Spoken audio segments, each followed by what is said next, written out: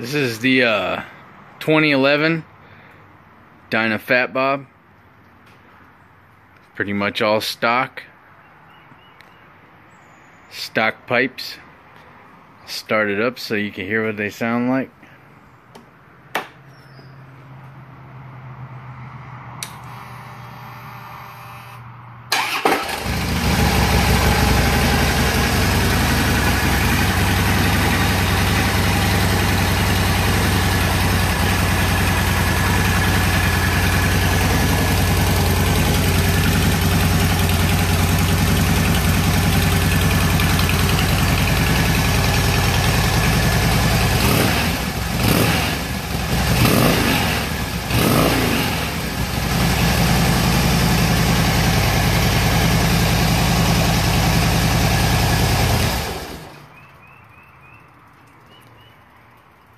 Doesn't sound half bad stock, but we'll find out in a minute here what they sound like with some new pipes.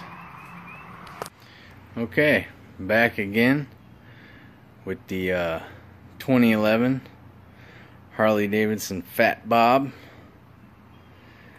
Got the uh, Freedom pipes, slip ons. Went on pretty easy. Like the end caps, nice billet, billet aluminum. Uh, hear how they sound.